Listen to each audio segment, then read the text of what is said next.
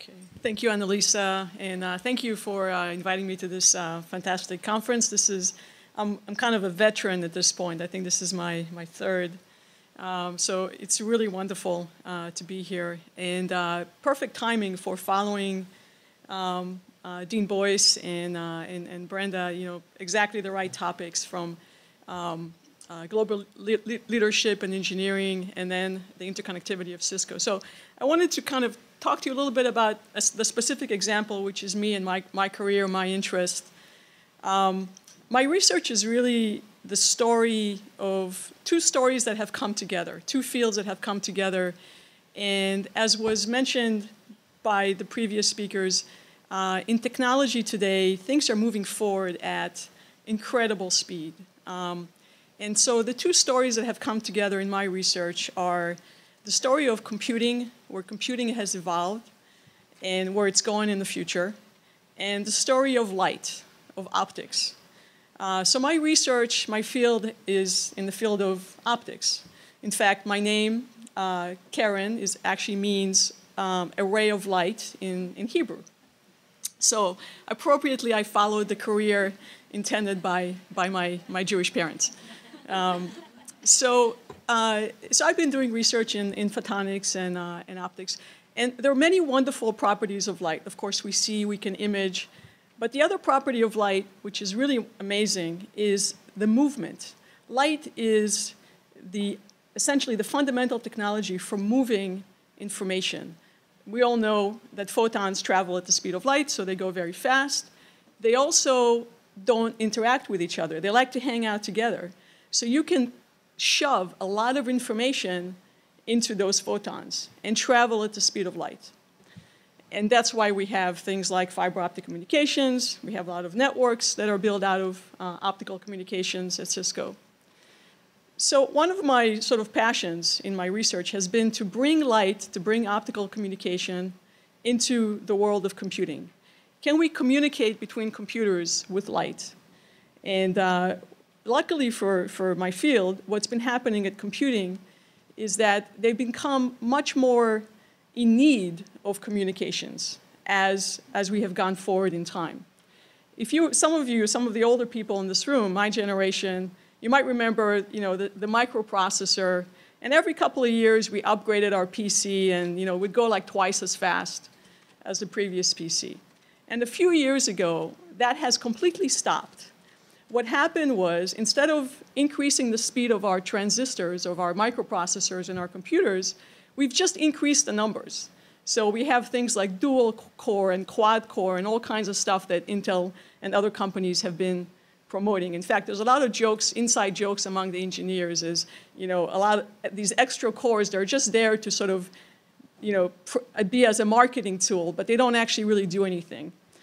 Uh, the reason that that's been going on is the reason that instead of making the, the processor faster and faster, we've increased the number of cores is because of energy, energy consumption.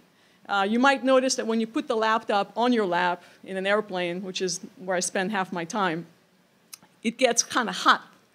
And one of the problems with, with microprocessors and transistors is that as you go faster and faster, you try to crunch all that data that Brenda showed us that luckily, thank you all for generating all that data. Um, it, it gets hotter, it consumes a lot more energy. And so instead of building it faster and faster, what, what engineers have done is they've just had a lot more of these microprocessors on the chip instead of having one run faster. And so imagine a lot of, a lot of soldiers sort of working together in parallel instead of just one working faster, right? And so what do we need in terms of getting all these soldiers, these men, to work together in parallel.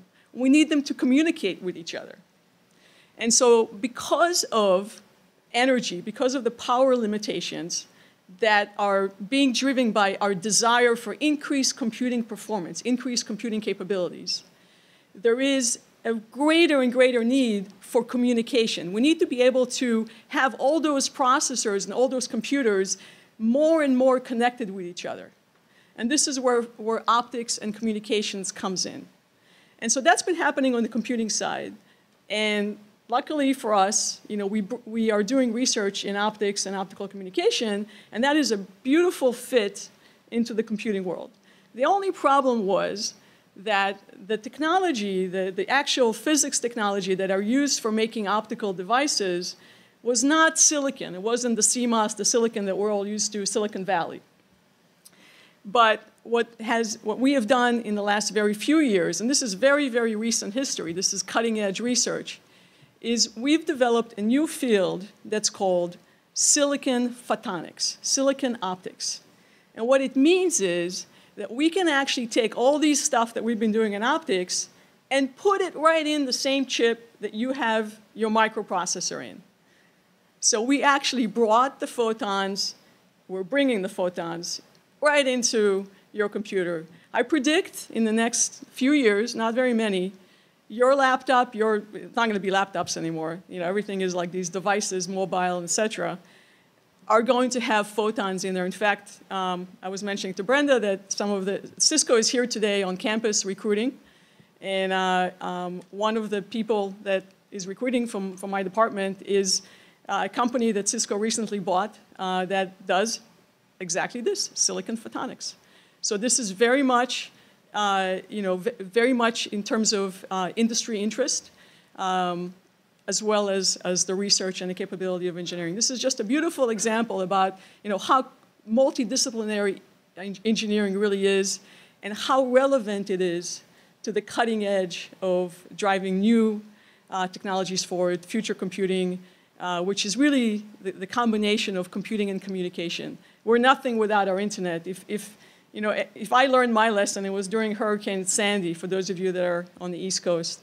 You know, we went from being 21st century to being 18th century in, in the matter of a day, right? As soon as the electricity went out, you know, the only place my kids had any connectivity was in the car when I could plug in the iPads and, and my, my router. So um, luckily, you know, we'll keep it going now with the photonics. So uh, this, is, this was my one example for kind of, you know, just as a, as a focused example of what we're doing here at Columbia and uh, going into the future. And so thank you so much for uh, your attention.